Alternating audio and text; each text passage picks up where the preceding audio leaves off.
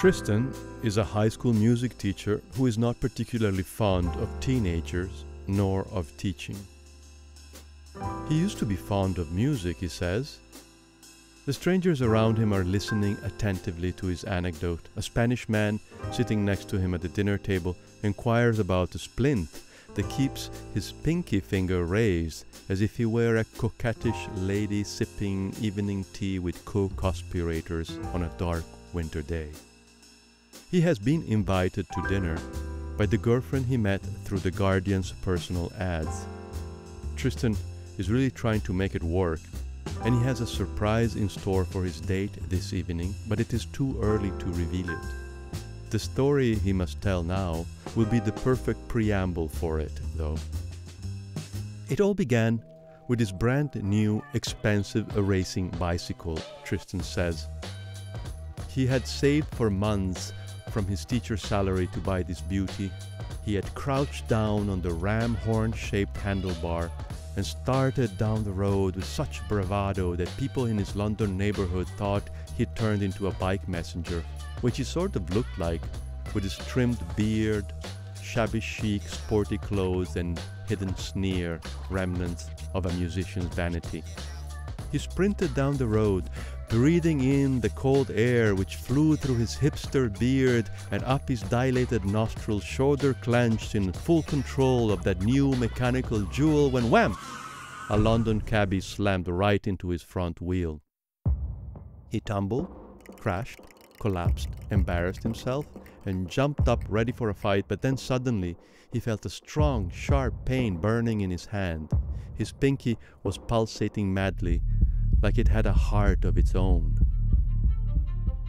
In the emergency room, they'd been very efficient in welcoming him, not making him wait too long and providing clear information on protocol and procedure to be followed. He loved the national health system, he said. But when he was asked to state his name, the person in charge typed Tristan's name in the keyboard, stared at the screen, and then looked at him with a quizzical expression. Tristan Campbell? Yes. Tristan Campbell, born in Yorkshire, January 6, 1976? Yes, that's right. How are you feeling, sir? What do you mean, how am I feeling? I'm in the emergency room. I was just run over by a cabby. I've told you that. My left hand hurts. It hurts a lot, as I've said when I walked in. And you ask me how I'm feeling? Yes, sir. Well, uh. Well, I'm in fucking dire pain, love. Tristan tried to add a smile but couldn't muster enough spirit to pull it off. I'm just asking because it says here that you are dead. I'm dead? Yes, sir. It says there that I'm dead. Yes, sir. It says here that Mr. Tristan Campbell, born in Yorkshire on January 6, 1976, actually died of complication in a Yorkshire hospital 20 years ago after surgery on his kidneys. Tristan stared at the nurse. I did have surgery on my kidneys in Yorkshire 20 years ago, but I have evidently survived it, haven't I? Not according to our records, sir. At the dinner, Tristan proceeds to expand on his discovery of having been unknowingly dead for 20 years, delighting his newfound friends at the dinner table. His date is radiant and admires him for being able to hold the easily distracted attention of this privileged bunch for such a long time with a fantastic story of his own death. It had taken him a long time to convince the British bureaucracy that he was actually alive, Tristan says to the dinner guests. He had to travel to Yorkshire, visit the hospital, ask to see the original record, and verify who had signed his death certificate.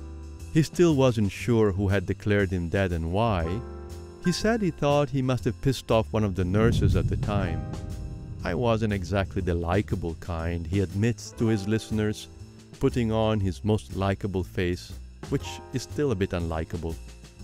Eventually, he was able to set the record straight and felt like he was born again, he says but his entire process of discovering he had been dead for 20 years, the deep symbolism of it all did not elude him. it reawakened a formerly sensitive Tristan, the young musician who played guitar in a band, who had moved to London to cut a record which never got made.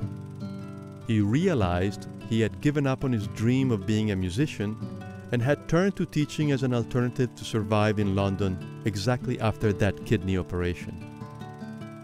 I really had been dead for 20 years, he says, or rather, my true dream had. He could not let this fortuitous discovery pass without doing something about it, he says. When they were putting the splint on my pinky in that hospital, I felt this was my chance to be reborn, he says to the adoring dozen, the Spanish fellow with his mouth half open in awe of this cheap symbolism. I understood I must sing again and play music, just like I did before I allegedly died and moved to London and was forced to teach music to teenagers to make a living.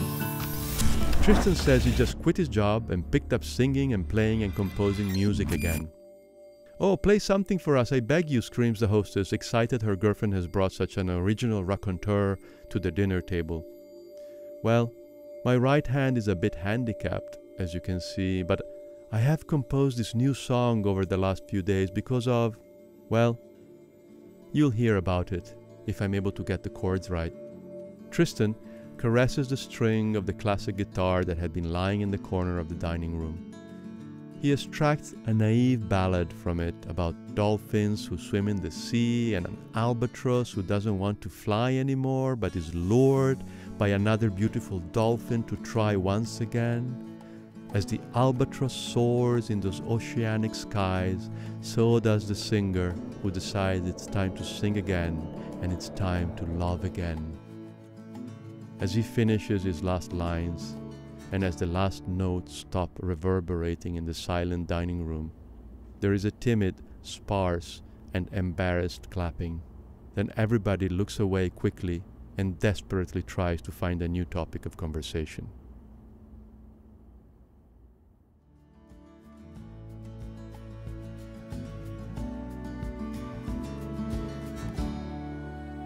recorded and engineered at Gazelien Records NYU Abu Dhabi. Thanks to Professor Matteo Marciano and Jenny Yu Wen Zhou, Vanessa Robinson, Ziad Azam. Re Smith, Chiting Chai, Kainat Zakaria.